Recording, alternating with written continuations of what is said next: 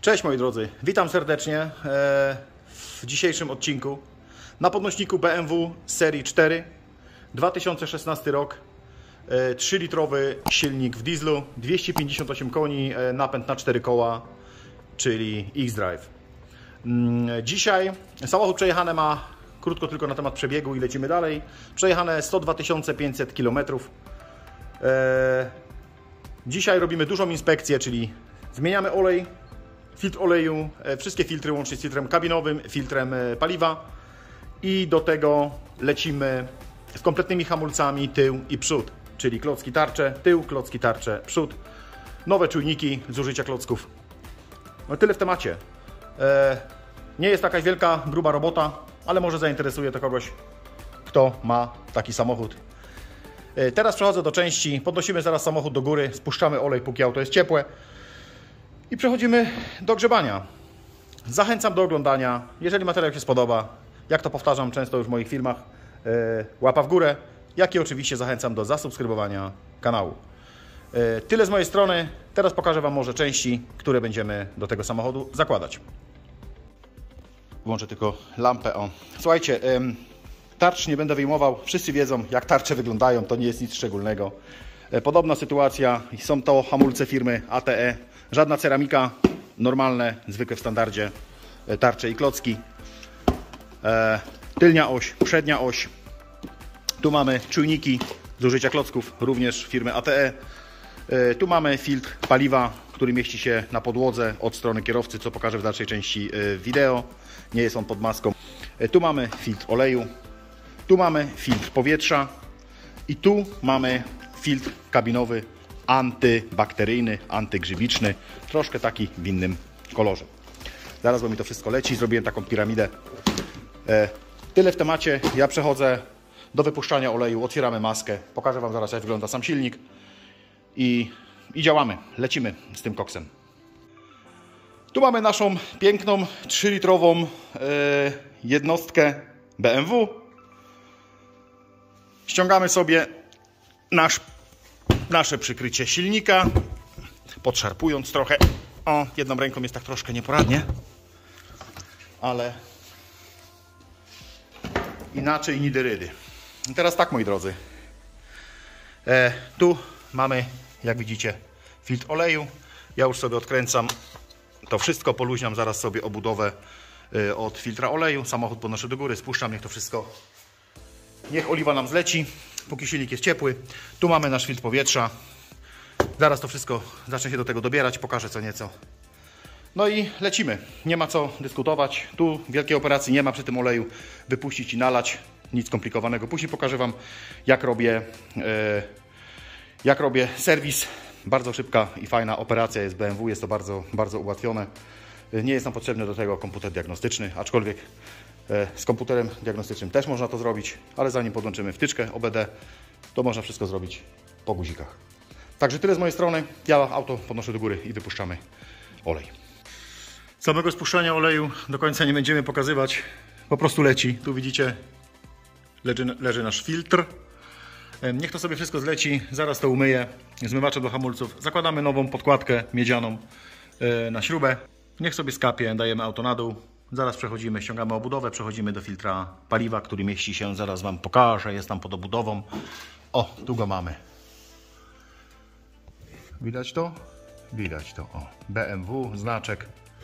Samochód był podniesiony, spuszczałem olej. E, To po co 20 razy jeździć autem góra-dół, jak można sobie od razu ogarnąć e, ten filtr e, paliwa, o którym mówiłem. Ósemki na kluczyk 8 śrubki. Tu mamy jedną na dziesiątkę, taką plastikową. W każdym bądź razie teraz wyciągamy sobie tą oto obudowę. Ściągamy pampersioka i zaraz jedną ręką jest ciężko i nieporadnie. Zaraz to zdejmę, to dogram, pokażę Wam, e, jeśli chodzi o ten e, filtr paliwa, jak to wygląda. No i teraz tak, odsłania nam się nasza e, skrzynia biegów. Tu mamy nasz filtr paliwa. I teraz Odkręcam trzynastkę. Tu delikatnie wyciągamy plastik, zabezpieczenie takie to, to zielone do dołu. Ta metalowa klamra w tą stronę do nas. Wtyczki nie musimy wypinać, wszystko zostawiamy to tak jak jest. Ściągam trzynastka, odkręcam to wszystko, niech sobie to wisi. Jak ściągnę sobie filtr, nie mogę tego Wam inaczej pokazać, bo mam tylko dwie ręce, ośmiornicą nie jestem. A muszę to ściągnąć w międzyczasie co nieco nagrywać. Troszkę mi kapie na głowę, bo pogoda nieciekawa, nie rozpieszcza. E, samochód pod spodem jest mokry od wody. E, dopiero co wjechałem na halę. Także przechodzę do ściągania filtra paliwa. Zobaczcie, tak to wygląda, jeśli chodzi o to, o to plastikowe zabezpieczenie. Ja już to wyskubałem sobie. O, tak jak widzicie, tu jest jedna część. Drugą część, która wchodzi od dołu, mamy tutaj.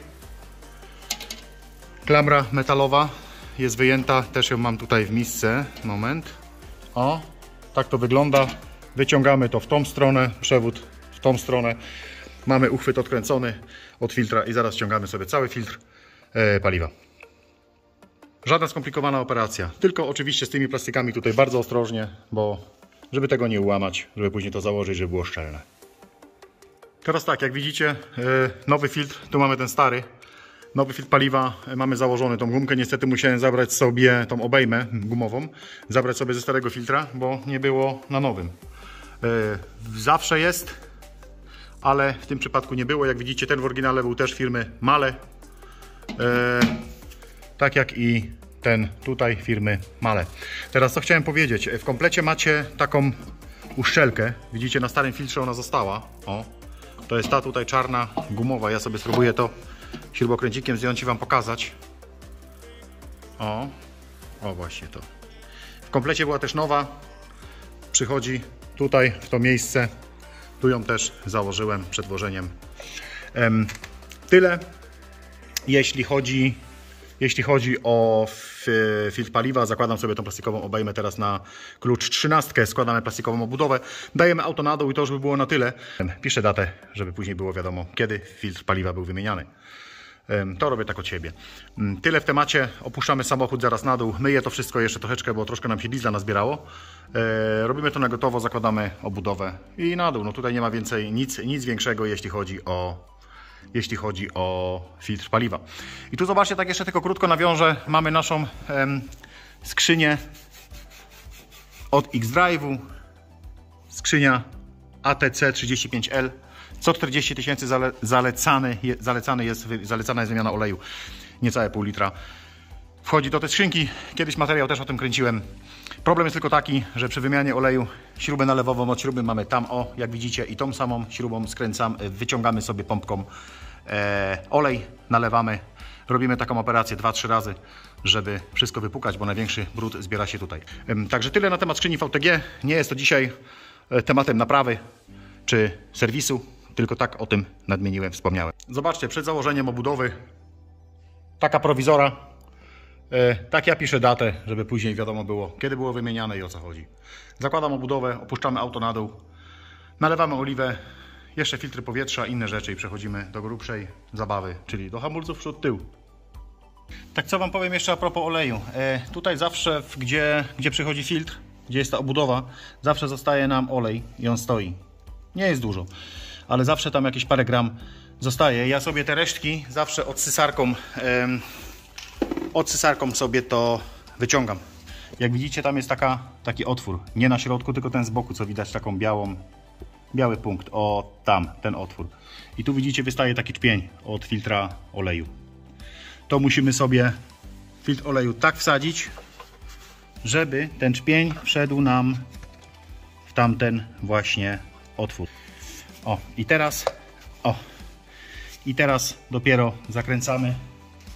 Oczywiście tu poszła nowa uszczelka, która też jest w zestawie. Widzicie, leży tutaj. Ta gumowa, ten o-ring. Zakładamy to. Ja to dokręcam. Yy, zakładamy to wszystko. Tu widzicie, siła dokręcania jest na wierzchu. 25 Nm. Nie przeciągać tego, to jest plastik, żeby nie pękło. Tyle w temacie, jeśli chodzi o filtr oleju. I teraz dobieram się do filtra powietrza. Odkręcimy sobie tutaj najpierw tą elektronikę na bok, żeby było troszeczkę więcej miejsca i wyciągamy filtr powietrza. Zobaczcie, no filtr, e, filtr powietrza sobie już wyjąłem. Tu widzicie, o, cały bebek wyskoczył, tak tylko woli informacji, tu pod tą gumą, ona tam się nam tak sprytnie skryła. O, tam, tam jak widzicie, o. Tam przychodzi na kluczyk ósemkę i tutaj przychodzi na kluczyk ósemkę. Na dwóch e, jest umiejscowiony na dwóch, e, no, na dwóch śrubach ósemkach jest to przymocowane. E, Tam mamy teraz nasz filtr powietrza, obudowę od filtra. Tu mamy całe to ustrojstwo. Tak on wygląda. O, zobaczcie. Tak on wygląda. Marek dostanie zjebę. Po, Marek, ty to widzisz? No, auto było całkiem niedawno w BMW. Marek będzie wideo oglądał. Oczywiście będzie widział. To jest nasz filtr powietrza. Zobaczcie, zwróćcie uwagę tylko na jedną rzecz. Na tą gąbkę. Ona musi być biała jak śnieg. Tak jak to jest w tym oto filtronie. Zaraz Wam to pokażę. Tylko ściągnę rękawiczkę, dam pauzę. Nie chciałem tego e, brudną rękawiczką dotykać, żeby nie upieprzyć tego filtra. I tu zobaczcie nasz nowy filtr powietrza, porównując go z tym starym, no to muszę powiedzieć Wam, że jest grubo. Mhm. Taka ładna czwóra, a oddychała takim brudnym powietrzem, nie? Ja to zakładam, skręcamy to wszystko do kupy, dwie spinki z boku, to sobie tutaj zaraz wyczyścimy, wydmuchamy i skręcamy to do kupy. Nie ma tutaj wiele co pokazać. E, Na dwie spinki, jak widzicie, jest przymocowana ta obudowa od filtra. Oczywiście tu musimy haczykami wjechać, żeby później ten filtr powietrza nie był luźny, które wchodzą nam tam na dole, o tam, tam, tam. Tyle w temacie. Lecimy. Tu już wszystko mam poskładane. Filtr powietrza jest założony. Tam nasza, zaraz wezmę śrubokręt, Wam pokażę o co chodziło. Ta nasza nieszczęsna, tu musimy sobie ten klips wyjąć. Ta nasza nieszczęsna, widzicie, która trzyma to wszystko, śrubka na klucz 8, tu są dwie, tu jest druga. O. To już jest założone. Drobiazg, ale mówię o tym, bo czasami idzie ułamać uchwyt, tutaj schowane pod tą gumą. E, olejek mam już nalany, filtr jest wkręcony. Olej dostała taki oto, o widzicie, e, 5W30 ma aprobatę, specyfikację e, BMW jako Long Life 04 Volkswagen, Mercedes-Benz. Taką oliwę mu żeśmy zatankowali. Tyle w temacie. Przechodzimy teraz do. Składam tutaj sobie wszystko, zawieszam kartkę. Przechodzimy teraz do hamulców przednich. Zaczynamy od przodu, kończymy na tyle. E, zanim lecę z hamulcami, 7 litrów, e, 6,5 litra mu wlałem teraz. Zaraz mierzymy sobie jeszcze olej. Bagnet mamy, jak widzicie, jest z tyłu. Także o tyle no, tylko tego bagneta ktoś długo nie wyciągał już. O tyle fajnie, nie trzeba mierzyć elektronicznie. Można mierzyć elektronicznie i można mierzyć bagnetem. Tak to jest w tych silnikach. A ja przechodzę do hamulców. Zobaczcie, e, przód, strona kierowcy. Powiecie, kto zmienia takie hamulce. O, widzicie ile tu jeszcze jest miacha? Tu jeszcze jest ładnie miacha. Tylko e, tarcze robiliśmy jakieś 8 miesięcy temu, mo może przed rokiem. Klocki hamulcowe również, wszystko było w jednym momencie wymieniane. Tylko koleżka Marek, nie Maruś, leciał do Polski i troszkę szarżował samochodem, mówi do mnie, zaraz po zabudowie. Założyliśmy hamulce, chwilę po tym na tym pojeździł i przegrzał te tarcze. E, Dostały temperatury, gdzieś się zniekształciły. W każdym bądź razie o co chodzi? Jadąc samochodem, hamując, delikatne są bicia na kierownicy.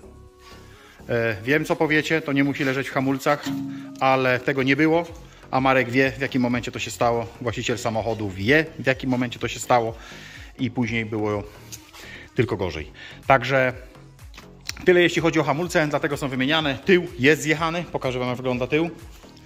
Tył należy wymienić, są ranty na tarczach, jak już widzicie. Wiem, co powiecie, poszlifować można jeździć. Takie komentarze też już słyszałem. E, klocki hamulcowe, nie wiem czy to będzie stąd widać. Wsadzę może tam kamerę, o. Widzicie, już są lekko na końcu. Robimy cały komplet na życzenie Marka. Tak Marek chciał, tak robimy. Ale ja uważam też i słusznie. E, także rozkręcam to wszystko, ściągam docisk hamulcowy, komplet. Tu jest z tej strony mamy również czujnik od klocków, od zużycia klocków, jak widzicie. O, to też pokażę, to jest wszystko nowe. No i co więcej, no, nie będę tutaj pokazywał wam drobiazgów rozkręcania śrubek. Imbusy, nie imbusy, tu ściągamy kapselki. O, jeden od góry, jeden od dołu. Rozbebeszamy to wszystko. Oczywiście śruba mocująca tarczę. Lecę. No teraz tak, tarcze mamy ściągnięte. Zobaczcie, tutaj się nazbierało tarcze ściągnięte, tarcze ściągniętą. Nie musiałem ściągać jarzma. To dobrze, dwie śruby mniej. E, to wszystko czyścimy na glanc. Tu już mam wyjętą nową tarczę. Patrząc na to wszystko, jest to jest to zaraz gdzie ja to miałem? Tu mamy, o jest to tarcza. O, tu mamy cały numer tej tarczy. Co więcej więcej jako takich znaków nie ma. Oczywiście jest wszystko to samo bez dwóch zdań czyszczę to, żeby nie tracić czasu zobaczcie, tyle mięsa było jeszcze jeśli chodzi o klocki hamulcowe o.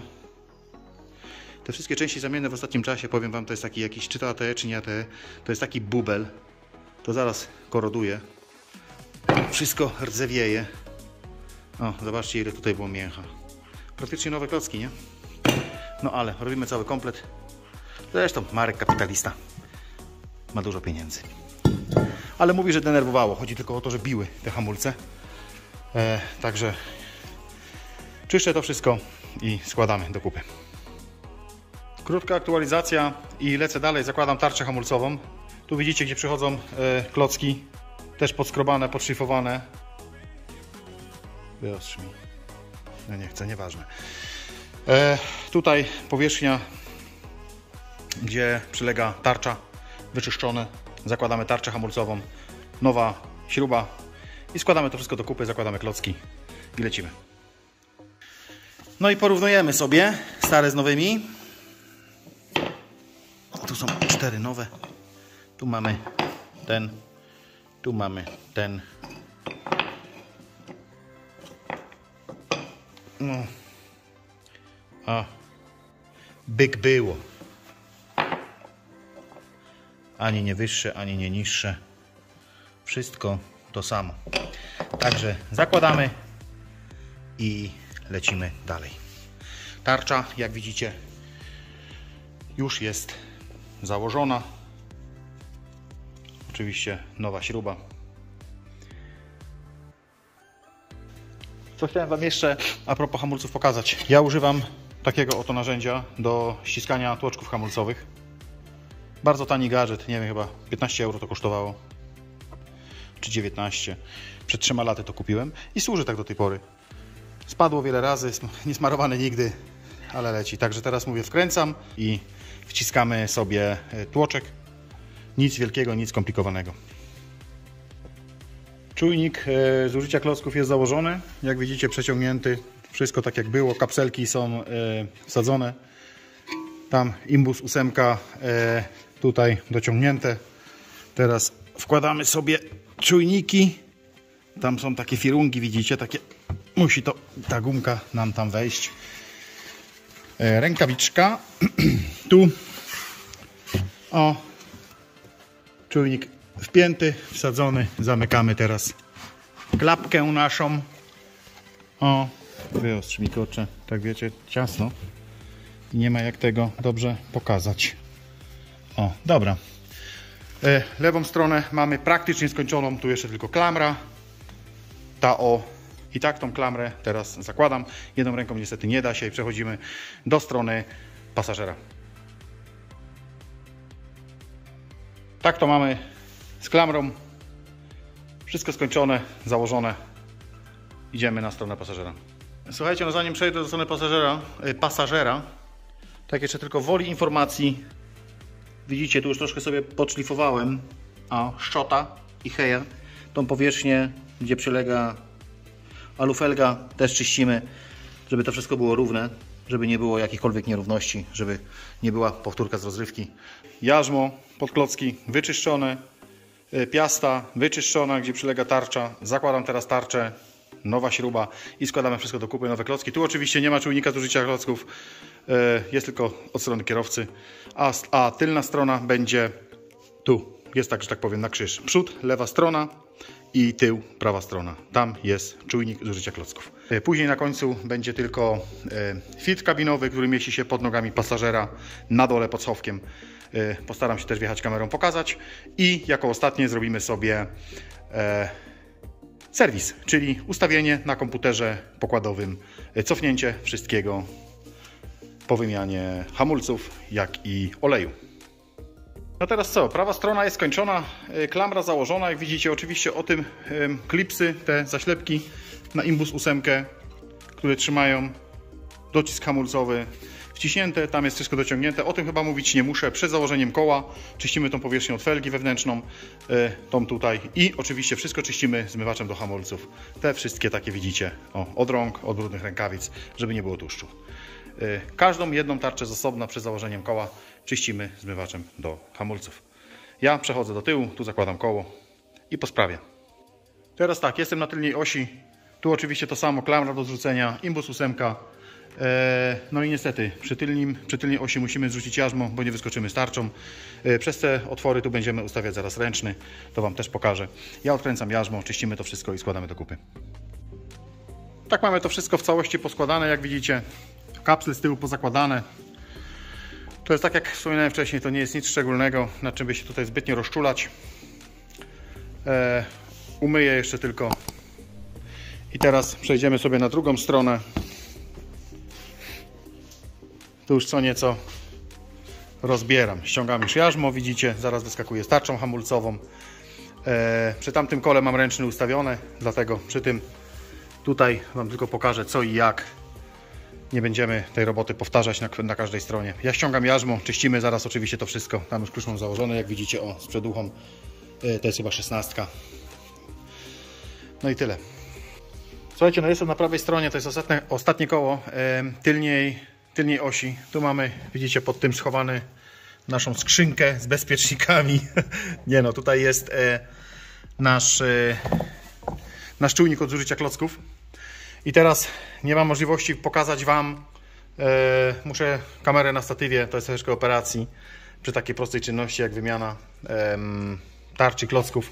Dlatego co chciałem Wam tylko powiedzieć. Tutaj widzicie są te o e, nastawniki do hamulca ręcznego. E, sytuacja jest następująca. Jak widzicie, tu widać to przez ten otwór na, na tą szpilkę od koła.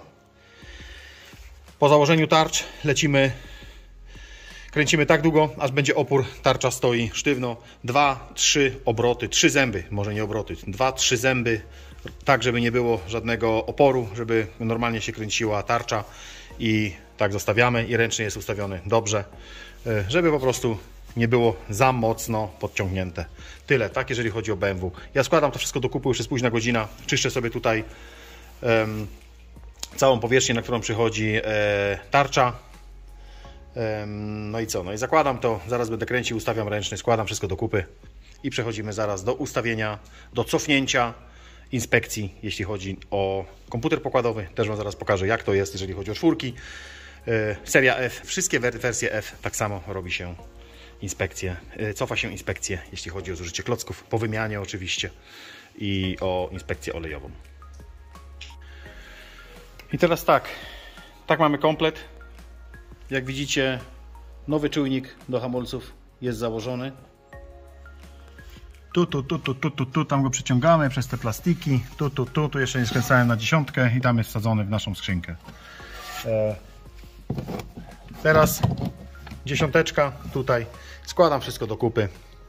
Myję tarczę, zakładamy koła z tyłu, czyścimy felgę. Tutaj już tą sobie wyczyściłem, jak widzicie, sprzęt leży. Teraz wezmę sobie to na ziemię. Tu jak widzicie od środka, tak jak powiedziałem, żeby nic nie biło. Tam i tak się po jakimś czasie brudna zbiera, ale przy montażu ja teraz tu pomiędzy tarczę, jak widzicie, używam takiej oto takiej oto do hamulców paściory, też firmy ATE. To jest taki tłuszcz. Tak samo można tą powierzchnię pod tarczę posmarować sobie zwykłym olejem. Oczywiście nie przesadzać, zetrzeć wszystko, natłuścić to tylko, ale o tym pewnie wiecie. Nie ma tutaj o pierdołach co gadać. Dobra, e, zakładam koła, e, czyszczę to, zakładam koła, e, samochód na dół. I mierzymy olej, wyciągam filtr kabinowy, wymieniam filtr kabinowy, cofamy inspekcję. I po robocie. I czwórka gotowa do jazdy oczywiście. Pierwsze 50-60 km zalecałbym jeździć pomału, znaczy pomału, w sensie hamować ostrożnie, nie od 170 do zera na autostradzie, na nowych hamulcach, bo będzie ta sama historia. Hamulce muszą się dotrzeć, klocki, jak i tarcze. Tym bardziej, że wszystko, przednia i tylnia oś jest nowa, także musi to wszystko się doszlifować. Mniejsza o większość, lecimy. Zobaczcie tak jeszcze, y, tylnia oś, nie wiem czy mi się to uda to pokazać, postaram się. Podkręciłem sobie śrubę, jeśli chodzi o ręczny, tamtą. Widzicie, wszystko jest festownie. I teraz sobie ją podciągamy trzy ząbki. Ześlizguje się śrubokręt. Dajemy ją sobie trzy ząbki.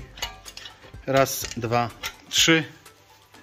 O, i widzicie, już się nam ładnie tarcza kręci. Zanim przejdziemy sobie do filtra kabinowego, on się mieści, włączę tylko lampę, on się mieści tam.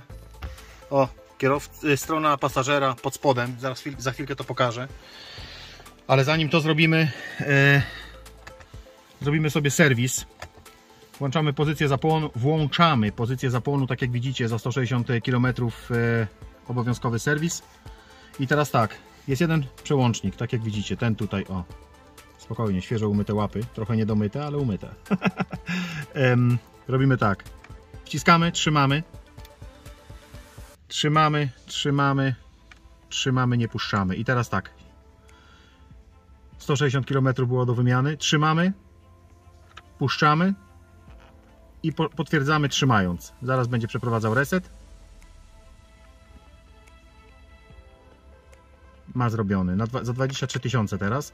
Oczywiście tak długo nie czekamy. Olej wypisałem na 10 tysięcy. 200 km mamy do ogólnego serwisu samochodu. Też to kasujemy.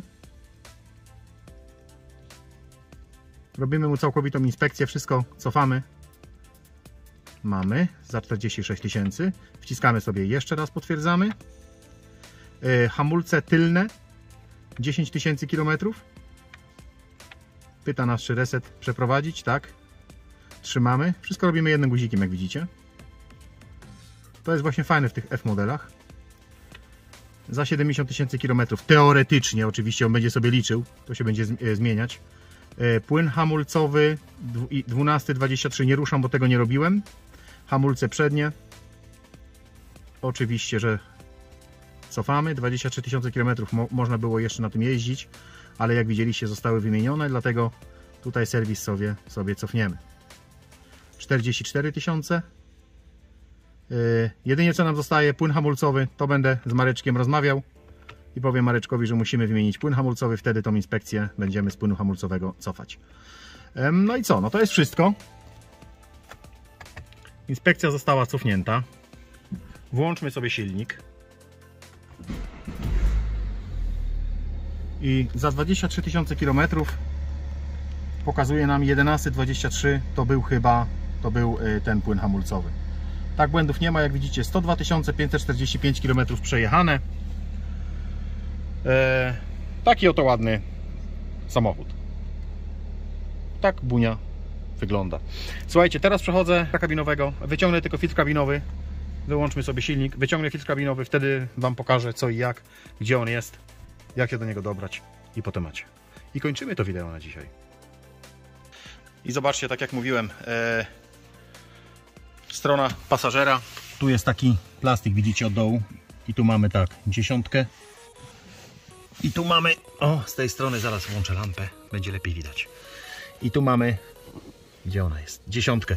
Odkręcę to, ściągnę sobie tą, to przykrycie i zaraz zobaczycie filtr kabinowy. To też pokażę. tu mamy tą obudowę ściągniętą pod spodem.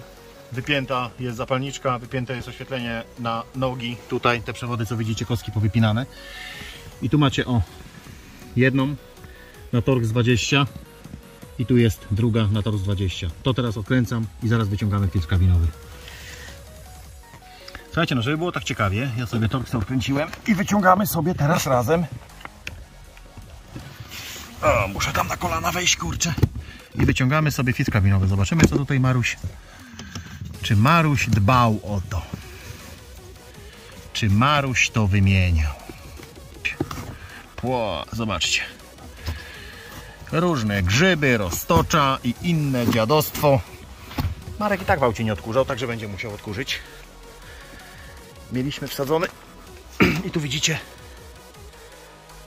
w takim kierunku, gdzie ma strzałki dziadu. Nie ma strzałek? Czy ma strzałki? Ma strzałki tu, o. o I w takim kierunku strzałkami e, strzałki do wewnątrz. O.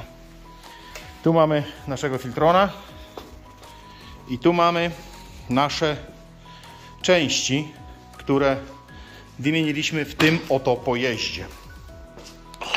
Zobaczcie to wszystko. Czujniki same w sobie są jeszcze dobre, one tutaj nie były wyszlifowane, ale były nowe. Założyłem nowe.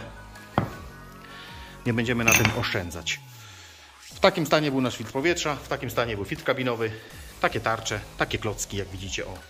Tylne, przednie, takie wszystko, zaraz pójdzie to wszystko do kontenera. Ja biorę filtron, wkładamy teraz filterek i skręcam do kupy pod nogami pasażera wszystko. I słuchajcie, wyciągam to z folii. Moment, tylko to wybeszę. Mamy teraz nasze strzałki. O. Tak mamy nasze strzałki i tak wkładamy o, filtr w ten sposób. Zaraz wjadę znowu na kolana. Zbyt wiele nie pokażę, bo jego trzeba tutaj troszkę tak wyłamać, jak widzicie. O. Bo on jest prosty. Musimy go tak pod kątem wsadzić. No słuchajcie moi drodzy, operacja zakończona, hamulce wymienione, inspekcja zrobiona, olej wymieniony, e, filtry kabinowe, powietrza, wszystko powymieniane. Jeździć, cieszyć się i to wszystko. Pozdrawiam Was serdecznie, trzymajcie się moi drodzy, do usłyszenia i hej hej!